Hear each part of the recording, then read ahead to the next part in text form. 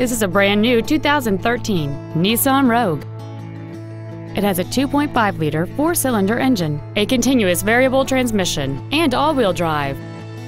Its top features include a low-tire pressure indicator, XM satellite radio, a multi-link rear suspension, aluminum wheels, and a backup camera. The following features are also included heater vents for rear seat passengers, cruise control, steering wheel controls, latch-ready child seat anchors, rear seat child-proof door locks, an energy-absorbing steering column, a rear window defroster. This vehicle is sure to sell fast. Call and arrange your test drive today.